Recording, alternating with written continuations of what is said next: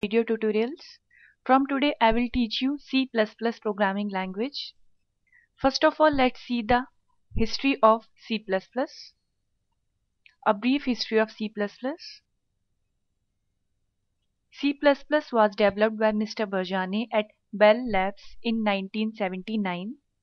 C++ is an extension of C language. After that, C++ was ratified in 1998 by ISO committee. The main point is C++ is called object-oriented programming language because it follows OOPS features. अब आप सोच रहे होंगे कि ये OOPS feature क्या होते हैं और इन OOPS फीचर से पहले हमारी प्रोग्रामिंग लैंग्वेज किस प्रोग्रामिंग स्ट्रक्चर पे काम करती थी यहाँ आपने एक चीज़ और देखी कि मैंने आपको बताया कि C++ plus plus is an extension of C language और C लैंग्वेज में हमारे ऊप्स कंसेप्ट यूज़ नहीं होते थे. C हमारी प्रोसीजरल प्रोग्रामिंग लैंग्वेज थी. और C++ में हम ऊप्स कंसेप्ट को यूज़ करते हैं. ऊप्स कंसेप्ट को पढ़ने से पहले हम सबसे पहले प्रोसीजरल प्रोग्रामिंग लैंग्वेज के बारे में पढ़ेंगे कि ये क्या होती है और इनके फीचर्स क्या है? प्रोसीजरल ओरिएंटेड प्रोग्रामिंग आप इसे पीओपी भी कह सकते हैं। Features of POP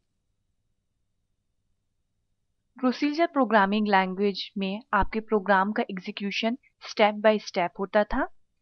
इसमें आप जिस सीक्वेंस में अपने इंस्ट्रक्शंस देंगे, उसी सीक्वेंस में आपका एग्जीक्यूशन अकर होगा।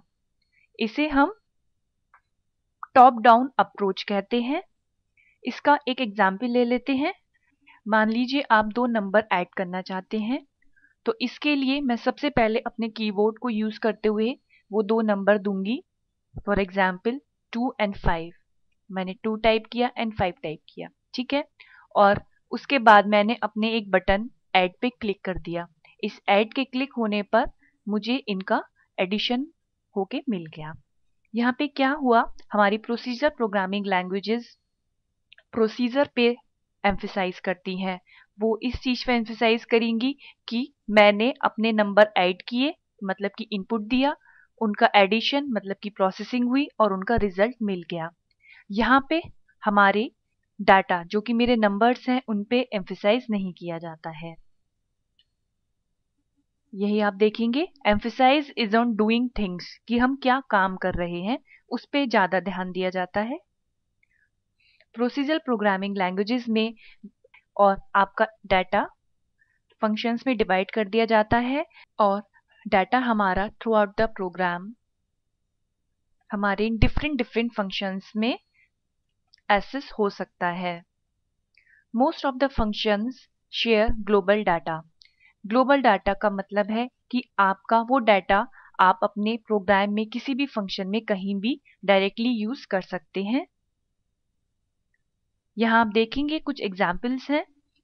COBOL Fortran C are the examples of procedure programming languages इस तरीके से आपने देखा कि प्रोसीजर प्रोग्रामिंग लैंग्वेज हमारी टॉप डाउन अप्रोच को फॉलो करती हैं, जिसमें एम्फिसाइज प्रोसीजर पे किया जा रहा है कि मतलब कि आप क्या काम कर रहे हैं, उस पर ज़्यादा ध्यान दिया जा रहा है। यहाँ पे आप अपने लार्ज प्रोग्राम्स को फ़ंक्शंस में डिवाइड कर सकते हैं और इन फ़ंक्शंस में आपका डाटा फ्रीली कहीं भी एसेस किया जा सकता है। अब इसके बाद हम देखेंगे ऑब्जेक्ट ओरिएंटेड प्रोग्रामिंग लैंग्वेज यहाँ पे अब हम ऊप्स के कुछ इंपॉर्टेंट फीचर्स के बारे में देखेंगे। यहाँ आप देखेंगे कि ऊप्स में प्रोसीजर पे एम्फिसाइज ना करके डाटा पे एम्फिसाइज किया जाता है। क्योंकि आपके किसी भी प्रोग्राम में आपकी वेलेबल चीज़, आपका डाटा आपकी इंफॉर्मेशन है। इसलिए ऊप्स फीचर्स में डाटा पे ध्यान दिया जाता है और डाटा को एक्सटर्नल यूज़ से प्रोटेक्ट करने की कोशिश की जाती है। यहाँ पे प्रोग्राम्स को फ़ंक्शंस में डिवाइड ना करके ऑब्जेक्ट्स में डिवाइड करा जाता है। यहाँ हमने फ़र्स्ट पॉइंट में देखा कि एम्फिसाइज डाटा पे किया जा रहा है। यहाँ पे हमारा डाटा एक क्रिटिकल पार्ट है। ऊप्स फीचर्स में हम अपने डाटा को हाइड कर सकते हैं, जिससे हमारा डाटा एक्सटर्नल फ़ंक्शन से यूज़ नहीं हो पाएगा। इसके बाद आप देखेंगे कि आपके प्रोग्राम्स को जहाँ हम ऑब्जेक्ट्स में डिवाइड कर रहे हैं, यहाँ डिफरेंट डिफरेंट ऑब्जेक्ट्स फ़ंक्शंस की हेल्प से एक दूसरे से कम्युनिकेट भी कर सकते हैं। आप ऑलरेडी बने हुए प्रोग्राम में कभी भी कोई भी नया डाटा या फ़ंक्शन ऐड कर सकते हैं। लास्ट पॉइंट आता है कि ऊप्स हमारा बॉटम अप अप्रोच पे काम करता है। इस तरीके से अपने आज के ट्यूटोरियल में सबसे पहले हमने C++ के क्रिएटर कौन है, ये कब डेवलप हुई, ये जाना। उसके बाद हमने प्रोसीजर प्रोग्रामिंग लैंग्वेज के कुछ फीचर्स देखे और उसके बाद कुछ ऊप्स के फीचर्स देखे। अपने नेक्स्ट ट्यूटोरियल से हम C++ के मेन कंसेप्ट